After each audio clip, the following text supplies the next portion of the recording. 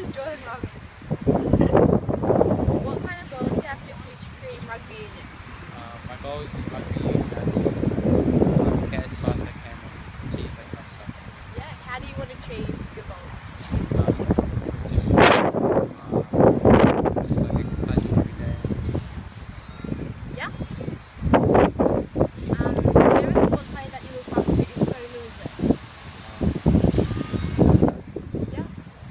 And what does he do?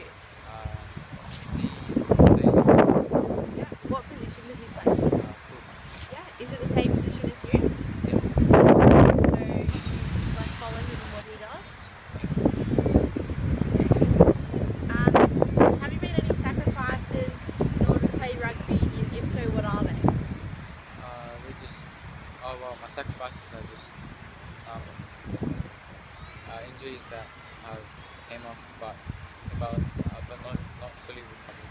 Yeah, so you aren't fully recovered from some of your injuries. Which ones are they?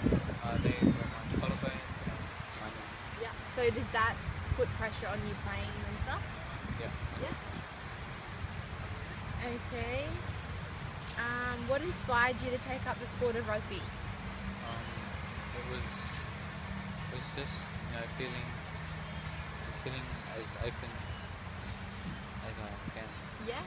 Did any like anyone inspire you, like a sporting person or uh, just no? Yeah. Do your friends play rugby also? Yeah. Um, what is your training schedule and diet like? How many days a week do you train? uh, I train um, Mondays. Mondays? Yeah. And what's your diet like? Is it strict or